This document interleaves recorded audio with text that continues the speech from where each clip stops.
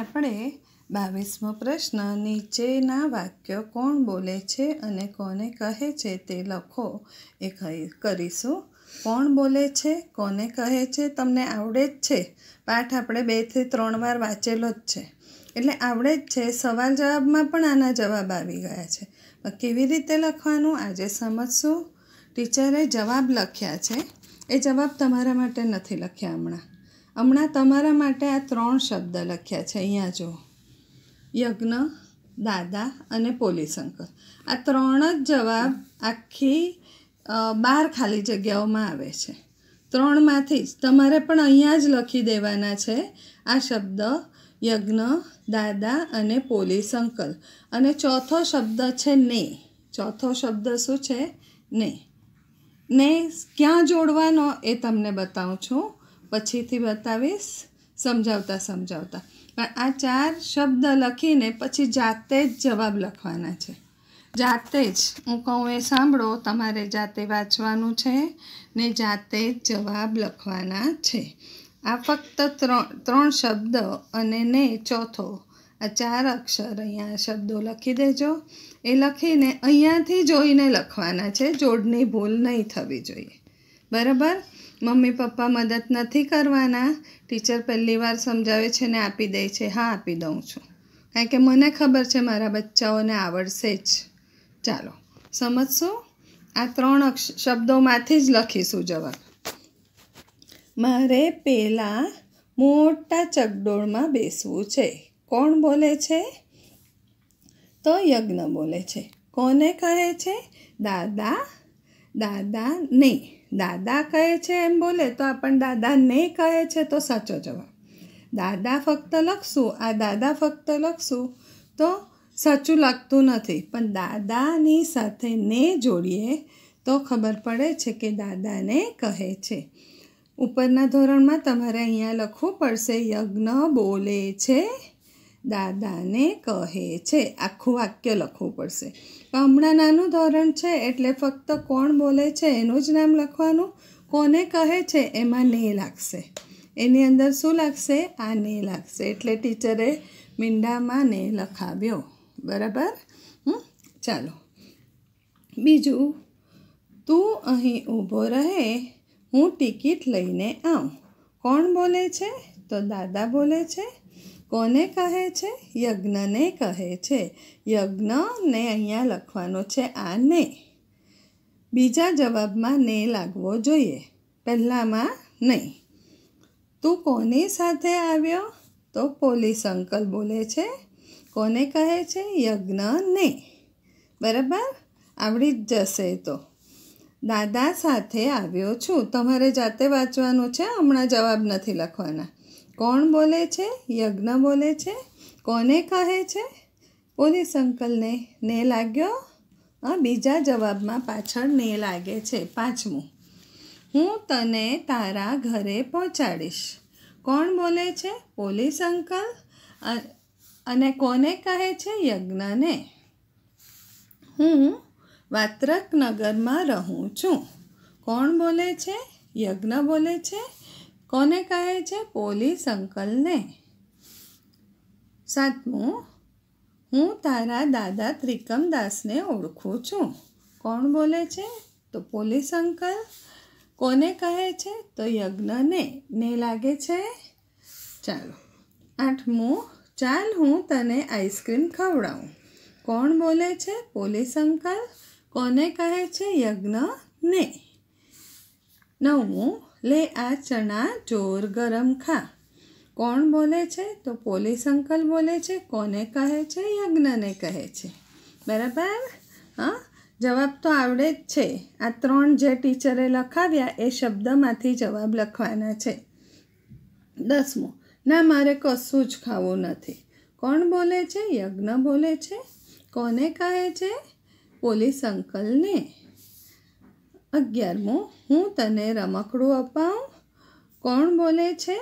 Police uncle બોલે છે? કોને કહે છે યજ્ઞ ને મારે દાદા જ જોઈએ, બીજું કંઈ જોઈતું નથી. કોણ બોલે છે યજ્ઞ? કોને કહે છે પોલીસ અંકલને? હવે દીકરાઓ, અહીં એક સમજવાનું છે. લખતા તો આવડશે, પણ કેવી રીતે લખવાનું? ટીચરે જો બધા અક્ષરોની આગળ એક આંગળીની જગ્યા છોડી છે. બધા અક્ષરોની આગળ. તમારી એક આંગળી મારી એક આંગળી નહીં. એ બધાની આગળ તમારે એક આંગળીની જગ્યા છોડીને શરૂઆત કરવાની છે. આને કહેવાય માર્જિન છોડવું. હા, જગ્યા છોડવી. અંગ્રેજીમાં માર્જિન બોલાય અમુક જગ્યા છોડીને કામ કરવું. બરાબર? હવે પોલીસ અંકલ ગમે તેટલું, આપણે પોલીસ અંકલ, યજ્ઞ, દાદા, એ અહીંયા પહેલાં લખેલા છે.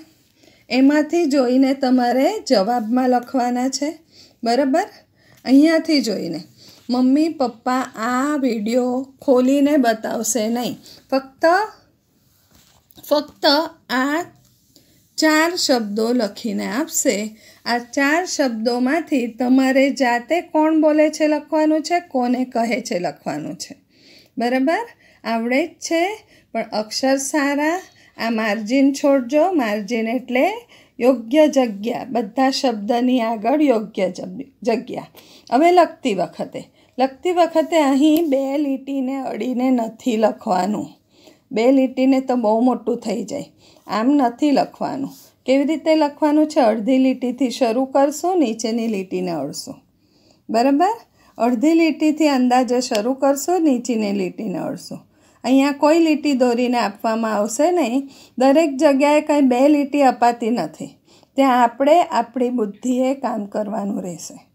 ઓકે? હા, ચાલો આગળ ચાલો. પ્રશ્ન ત્રેવીસ. હોમવર્ક છે. મને વાંચો અને લખો. તમારે વાંચવાનું છે, તમારે લખવાનું છે.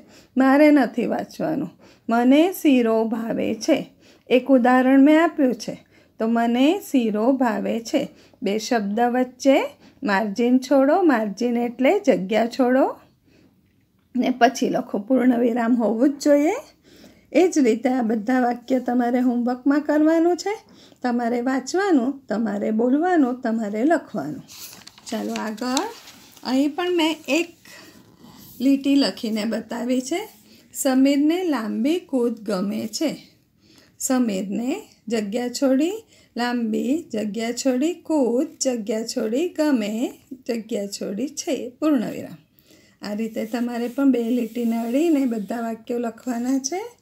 હવે પ્રશ્ન ચોવીસ. આ પણ હોમવર્ક જ છે, લખો. તમારે લખવાનું છે. પણ એમણે આપ્યું છે લખવા આ જાડી લીટી. શું આપી છે? જાડી લીટી. ને ટીચરે જાડી લીટીમાં ચોકડી મારી છે. જાડી લીટીમાં તમારે નથી લખવાનું, તમારે આ લાલ લીટીમાં લખવાનું છે. જો ષટકોણનો શ ટીચરે લખીને બતાવ્યો, લાલ લીટીમાં તમારે પણ આપણા માટે આટલી જ લીટી કાફી છે, આનાથી મોટી લીટી જરૂરી નથી. હા? એ જ રીતે એક શ્ર લખજો, લાલ લીટીમાં ત્ર લખજો, લાલ લીટીમાં આખી લાલ લીટી, રૂ લખજો, લાલ લીટીમાં આ ત્રમાં ત્રમાં આ વળાંક લેવાનો નથી. સીધો લીટ, સીધી લીટી. કારણ કે ત્ર, ત્રમાં વળાંક લેવાનો નથી. બરાબર? હવે આગળ જઈશું. અહીંયા જ્ઞ છે. હા? જ્ઞ પણ લાલ લીટીમાં લખશું. ક્ષ છે. એ પણ લાલ લીટીમાં લખીશું. બરાબર? હા? હવે છે પ્રશ્ન પચીસ, હોમવર્ક. શબ્દો આપેલા છે, અઘરા શબ્દો. એ અઘરા શબ્દો રૂ પરથી, ત્ર પરથી, જ્ઞ પરથી, ત્ર પરથી, પછી ક્ષ પરથી એ આપેલા છે. એ તમારે બરાબર જોઈને લખવાના છે, સુંદર અક્ષરે લીટીને અડીને. પ્રશ્ન છવ્વીસ છે, ચિત્ર જોઈ શબ્દનો ઉપયોગ કરી વાક્ય બનાવો. શબ્દો આપેલા છે, યજ્ઞ ઋષિ ચિત્ર જોવાનું છે ચિત્ર છે, ઋષિ યજ્ઞ કરે છે એનું.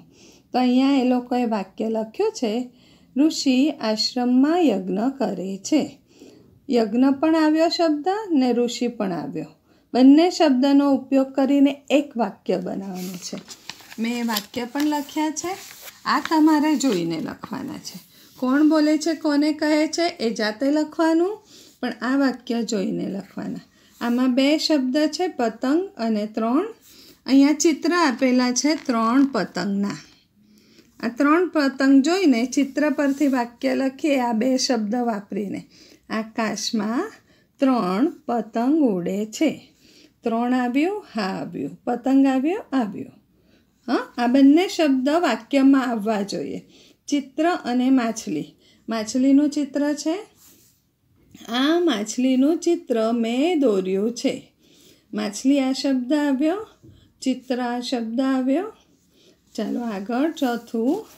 પ્રજ્ઞા વિજ્ઞાનનું પુસ્તક વાંચે છે. આ છોકરી છે, પ્રજ્ઞા નામની. એ વિજ્ઞાનનું પુસ્તક વાંચે છે. આ ચિત્ર છે. તો આ ચિત્ર પરથી પ્રજ્ઞા અને વિજ્ઞાન બંનેનો ઉપયોગ કર્યો મેં. વિજ્ઞાન પણ લખ્યું અને પ્રજ્ઞા પણ લખ્યું. પ્રજ્ઞા વિજ્ઞાનનું પુસ્તક વાંચે છે. હવે પાંચમું છે, આ ચિત્ર કાછિયાનું. કાછિયા એટલે શાકભાજી વેચનારને કાછિયો કહે છે. અને એ ત્રાજવામાં વજન કરે છે. આ ત્રાજવું છે, એમાં વજન કરે છે. આપણે ગણિતમાં ત્રાજવું શીખી ગયા. હલકું ભારે આ પાઠમાં.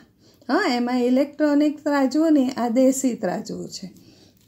વજન અને ત્રાજવું આ બે શબ્દ વાપરવાનો છે. કાછિયો, ત્રાજવું ઉંચકી શાકનું વજન કરે છે. અહીંયા ત્રાજવું છે, ટીચરે એ જ શબ્દ વાપરો. વજન છે, ટીચરે વજન આ શબ્દ પણ ઉપયોગમાં લીધો. કાછીઓ ત્રાજવું, ઉંચકી શાકનું વજન કરે છે. આજે અહીં સુધી ભણવાનું છે. ઓકે.